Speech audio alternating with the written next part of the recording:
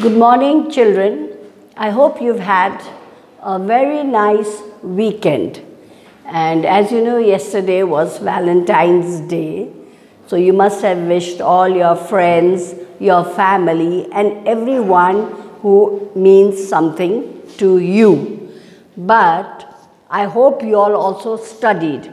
Now, again, I don't want to repeat the same thing. You know, I'm repeating it all the time that I have given you this poem, and you cannot say you don't have your books because I've sent you a PDF, and it's very easy to read in the PDF. The Lamplighter, the poem is not very long. It has got how many?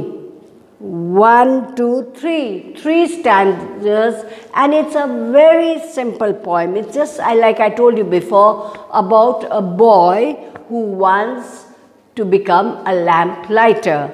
Even though his father's a very, very rich man, but he still wants to become a simple lamplighter. I even explained to you what a lamplighter was in those days and that we do not have lamplighters now because everything is so modernized. And of course, you cannot sit by the window and watch the lights go on. I mean, because they have a certain time here that when it gets a little dark, then the street lights go on automatically, isn't it? Well, to continue with the lesson, I told you also that please send me on my personal WhatsApp about what you want to be when you grow up. But the best part is that nobody bothered. There were just two or three and just two, three lines. Come on, children, now you are in class five. You have to think a little more. Have you understood? You cannot just, oh, ma'am has told me to do something, so I'll just do it and send it, and I'm happy. I told you last time, please concentrate at least for one or two hours in all your subjects. Like class 9 to uh, 12 has reopened. I mean, all the schools, all the children are going. So you don't know, children, when suddenly you'll have to come to school. You have to be prepared. Another thing, I think your books will be available from another this week or next week. So please buy the books, please. It's very important. So let's get back to the lamp lighter. Now, if you look at page 34, 34 where the comprehension is, I've sent you a PDF of this also. So you cannot say that I don't have it. Now, can you see comprehension? Actually, basically, it also tells you whether how much you have understood uh, from the lesson. Because many people might just read it and this and that, but no, you have to comprehend. It is uh, very important that you understand and also follow the lesson and are able to, mm, uh, what do you call that, um, answer the questions given to you. Have you understood? Well, the first one that we have is fill in the blanks with words from the poem. Now, there are some blanks you have to fill in. This is very easy. You have your book in front. Other days, we would have told you, we would have written the questions on the board and you would have to learn or read the poem properly to know the answers. But now you don't even, because I mean, you've got your book in front of you, you are just going to copy the words.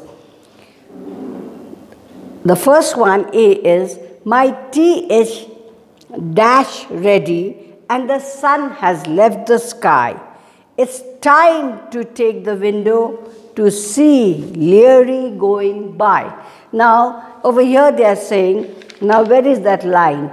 Right on top of the poem, the first line is that, and the word in the blank is, can you think in your heads? I hope many of you have thought of the answer already. Well, my tea is, the answer is nearly. Over there you can see, my tea is nearly ready and the sun has left the sky. It's time to take the window to see Leerie going by. So children, I hope you know the answer. It's right there in the first line. Have you, and the word is now the, the first word is A. Is what? Nearly. Have you understood? That is the first word. Now B, let's come to B. Five more minutes. Now Tom would be a driver and Maria go to sea. And my papa's a banker and as, what is it? Now, a banker and as dash as he can be. Now, what is it? The word be is, now his papa's a banker. Let's look at, it is in the second stanza, and my papa's a banker and as rich as he can be. So the other word is rich. Have you understood? It's rich. Now let's go to the next one which is what would you say is the main theme of the poem? Now, and I hope you're looking at your books or whatever PDF file. Now, what would you say is the main theme of the poem? Number A, if it's a lamplighter called Leerie, now, or is it someone who likes to look out of the window every night? C, someone who wonders what to be when he grows up? Someone who wants to see a lamplighter go by the street? Now, you, it is up to you. You cannot say, like, my opinion might be different, your opinion might be different, and what do you think is the main theme of the uh? Have you understood? Now, is it whether he wants to become? So you have to put, there's a box over there. There's a box over there. You have to, you know whether which one is thing, whichever one you think is the main theme of the poem, you have to do that. Have you understood? That is the thing. Now children, what you have to do is, you will have to go home and then uh, I'm only doing number one and two because and I want you to of course I'll write you what your homework is. Have you understood? You will have to get back to me and do number 1 and 2. Very easy and don't forget to do it neatly. Underline the word and write the sentence then tick in the box. You can color the boxes also. It is something very interesting. Have you understood? So anyway, thank you children. Good morning and please do your work. You have to do your work.